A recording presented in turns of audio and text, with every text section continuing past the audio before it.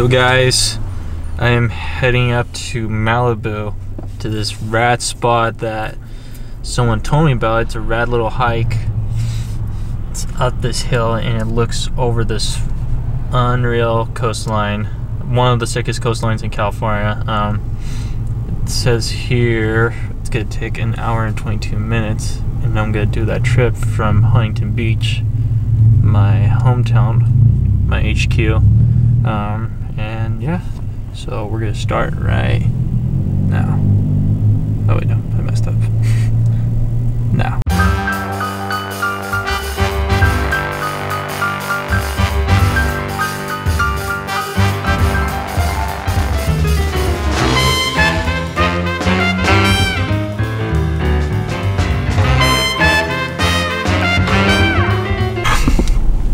So guys, we just got off the freeway and we have another 45 minutes to get to our destination. So that's gonna be fun, but not gonna be fun PC. Oh my goodness, I almost died.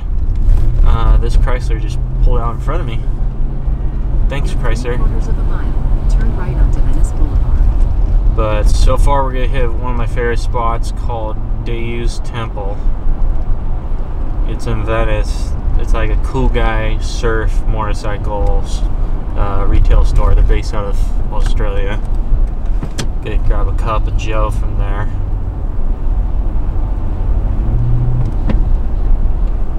In half a mile, turn right onto Venice Boulevard. Uh, Faster route available. Sorry, I was out of- I was zoning. taking a different route.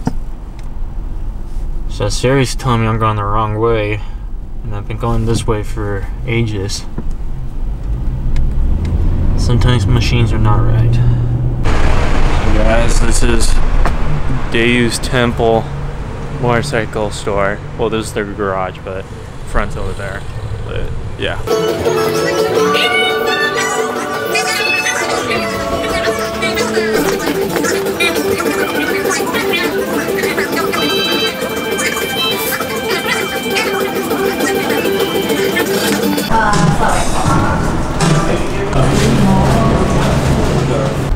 guys, this is a cup of stoke.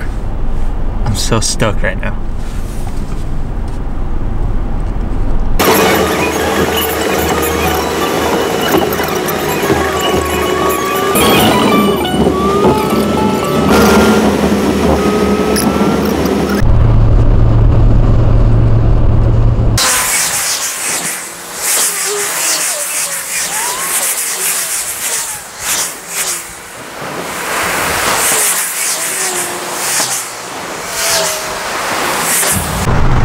So guys, I made it to Malibu.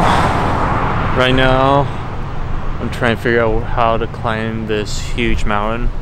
So, so far, I'm probably gonna be climbing over there, climbing up that little hill, and crossing over, and heading straight up there to get this shot.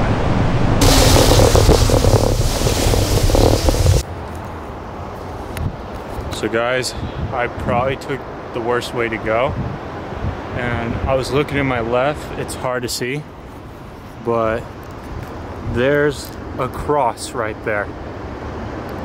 So I'm probably gonna turn back around since there's a rainstorm coming at me from that direction. So yeah, kind of bummer, but don't want to die today like that person. So guys, I tried to do that sketchy hike up to the hill and I realized that it was way too gnarly and I looked to my left when I was climbing up and I saw a cross at Nick and I was like, holy smokes.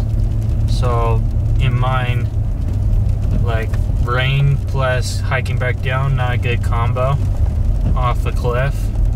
So now I'm driving back home, but at the same time trying to find some spots to shoot.